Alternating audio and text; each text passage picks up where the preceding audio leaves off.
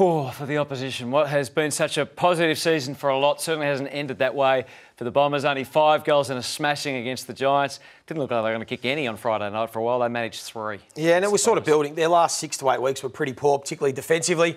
It just leaves me thinking, okay, their profile looks exactly the same as the past four or five yeah. years. Their offense is fine. They can move the ball from their back half. They're kicking. They're one of the better kicking teams in the comp, but they just can't defend. So I'm concerned that even with Brad Scott having a full pre-season, nothing has changed yet. So well, I'm, I'm concerned about the system. There's too many seagulls. Too many want the easy chip. And, and, just this one, just one bit of play here. When you play an uncontested marking game and you squirt the ball in the 45 degree, you can't have everyone going for that one ball. Just have a look at how many players here are trying to suck that ball out of the hands of the kicker there to get the easy one. And it's, it's, it's a problem. It's a massive problem. Because look, look at that. Their whole midfield's there and you go down the line, you get picked off, now you're in trouble because you've been defeated by three Collingwood players to your six, seven, or eight. So you can't. You've got to have a better balance than that. So that, that's really early in the game. So, so is that more about like strategy and X's and O's, or more about mindset? Well, it was both. They know the strategy is to try and find those uncontested marks. So all of them there are thinking about themselves, wanting to get the footy. Look at that. Without the footy, 15th again. No, this this is strategy. I, I won't hear the wash and the spin um, that others want to go with. Um, you, it was the same when they were sitting fifth on the table.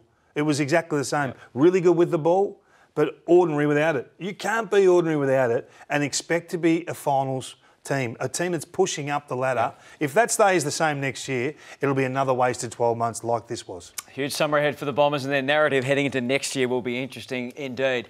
A Port, the team we just don't know about enough? Or we're not sure how they're going to go, or um, in terms of the top four? I, I, think so. I just think that there's still some gaps with them, their game defensively in particular. I know their midfield are, are superstars, and that's what's going to take them a long way.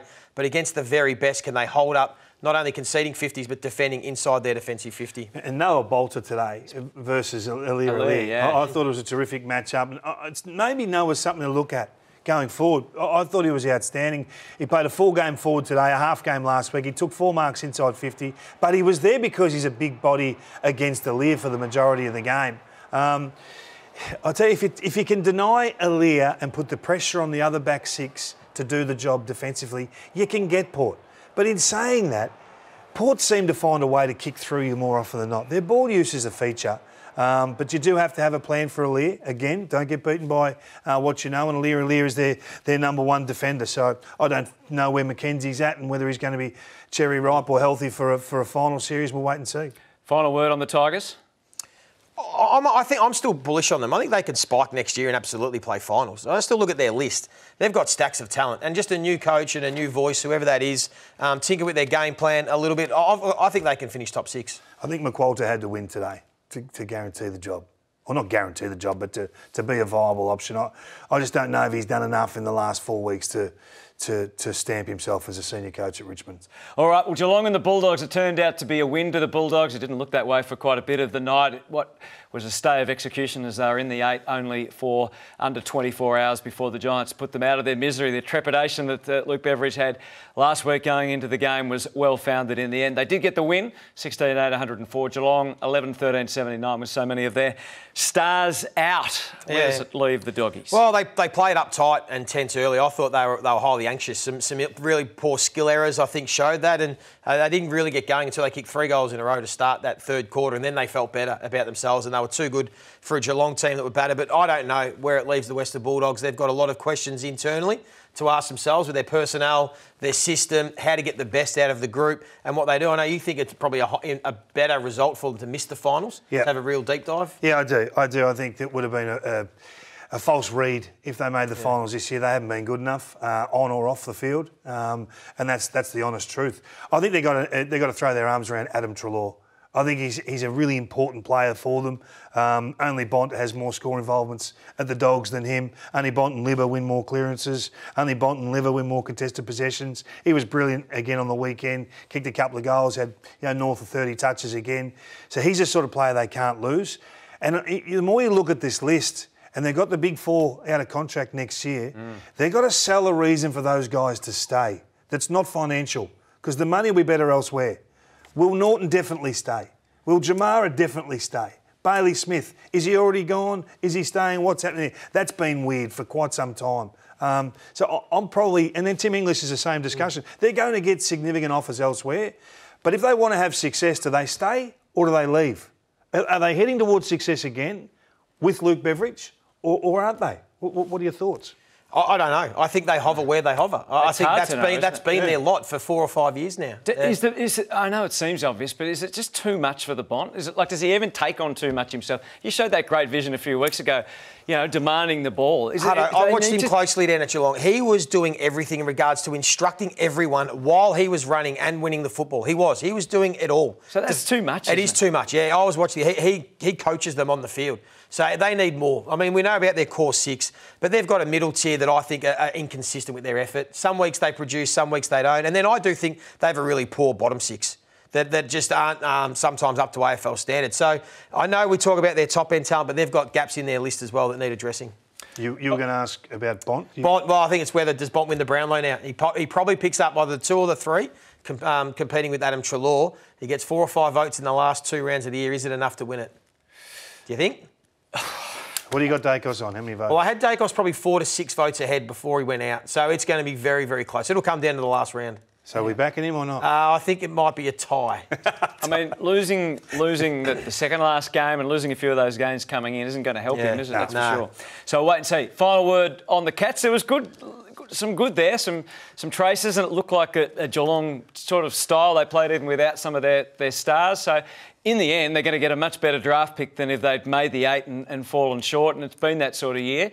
Um, so it was interesting to see. Yeah, I'm confused by Parfitt. What, what, what, does he ever leave this team? Why isn't he? He becoming... played well. well yeah, that's the best he's played yeah. all year. It was yeah. confusing to see, wasn't it? It was. Give so, an opportunity. A, bit like Adam Treloar. Throw but, your arms around him, tell but, him you love him. But he did have some opportunity in. in. the in the sort of late middle part of the year and didn't look anywhere near his best, but no, he, he certainly was last night. No, he was terrific. And, and you sometimes just need to see it. I, I, think they've got some some real concerns, and, and they've come off a, a premiership, so of course you're going to have problems. You can't you can't keep maxing out every year. Um, but the responsibility shifts now from Dangerfield to the next level yep. of midfielder, whether that's Atkins or Guthrie coming back. Holmes. What's underneath that? You know, is Holmes a top liner? Yeah. Well, is, is, he, is he? I mean, there's questions whether he's actually going to stay as well. So there's a lot to play out in the postseason. Toby Conway got a, a game. Bit. He, he did a show a bit. bit. They've been waiting and waiting for that, so he might be the answer in the ruck. Who knows? I could go on and on about the Cats, but they won't let me. So in the end, the West Coast Eagles uh, do finish on the bottom of the ladder after all the, the rigmarole of the last couple of weeks, courtesy of the Kangaroos.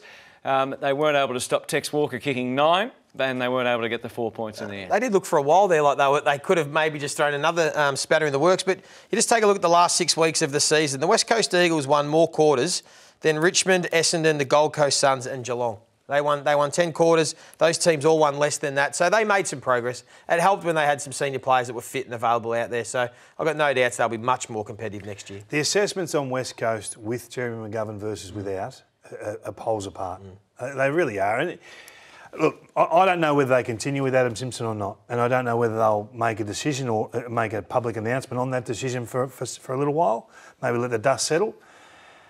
I don't think it matters either way. You're going to get a similar result out of this squad next year, regardless of, of who's coaching, in my opinion. So why not stick with the guy that you're financially committed to anyway?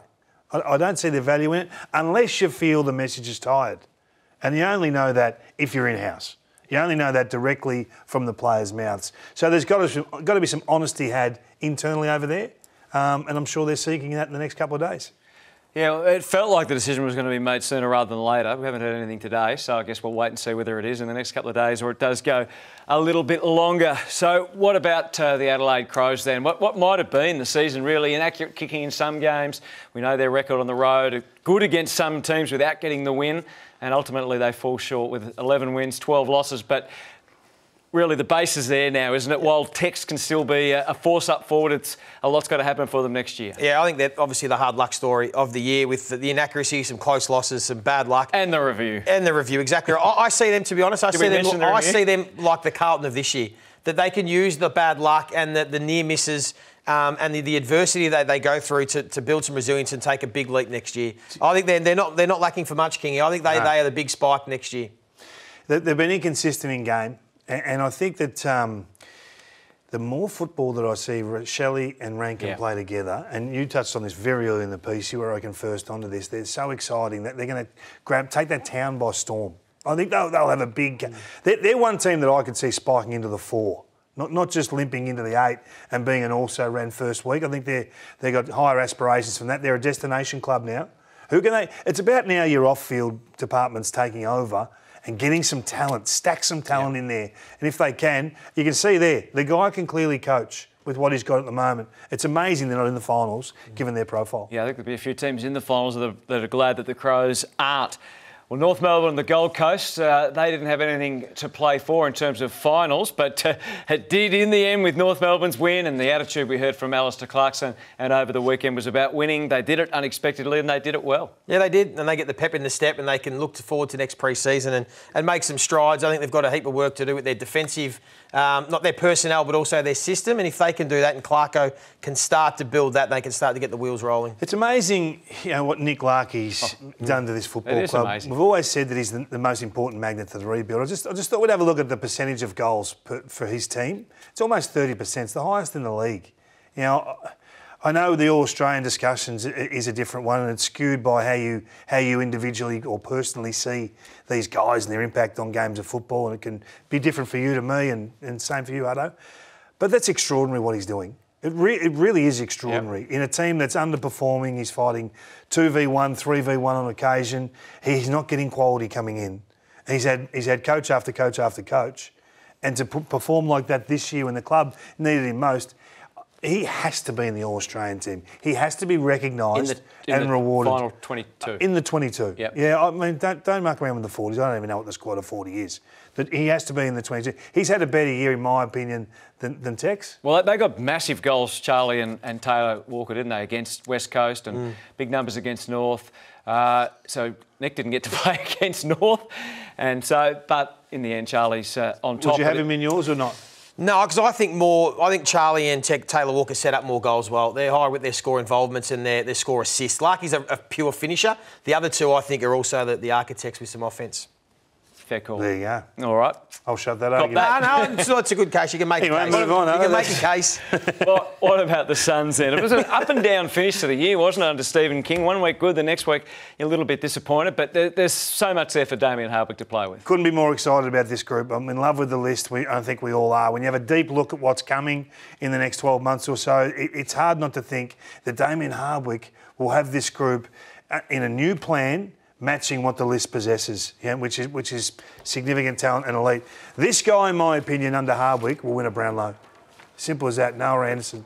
He's he's playing unbelievable football. His his vision is is is, is ridiculous. I don't know how he sees these targets, let alone hit them. He put on a clinic yesterday, and he has done all year. He, he averages close to 30.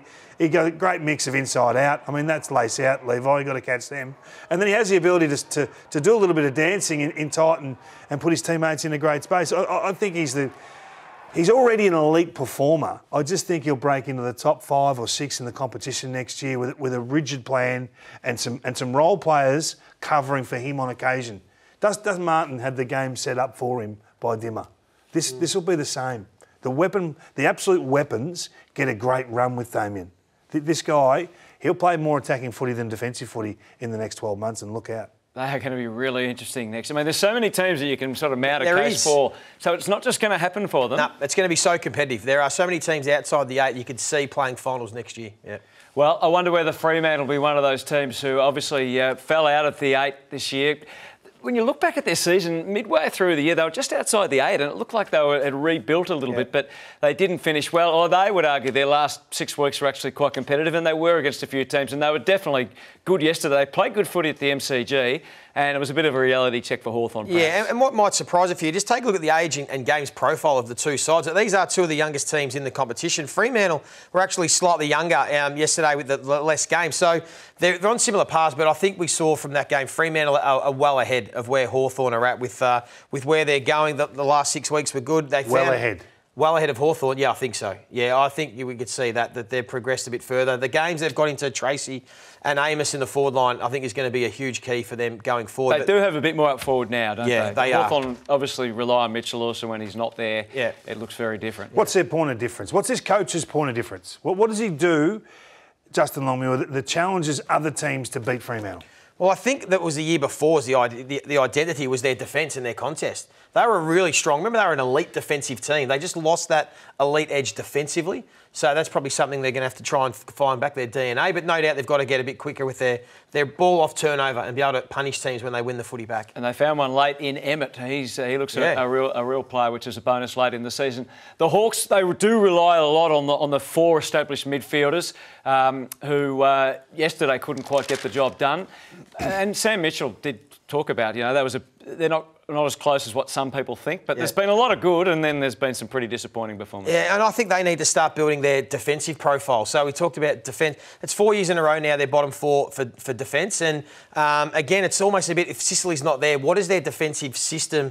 Look like. So, so I think that's got to be a fan, another key defender. Another key defender, and as much as it's personnel, they've got to, they've, I think they've got to start to build that brand because everyone's loved their offense and, and their flair, and it's looked great at times, and they've challenged the best teams. But to be consistent and be consistently good, that without the footy profile has got to start to improve next year. Yeah, which which it did. It, it did from um, round 17 or round 18 onwards, yep. the last six or seven weeks of the season. So, now, if you look at the, if you break the season in half, I think there's massive gains for what Sam Mitchell's been able to do. And he's got he's got those three or four midfielders coming through yeah. that are going to drive him for a decade. What, yeah. what an asset that is.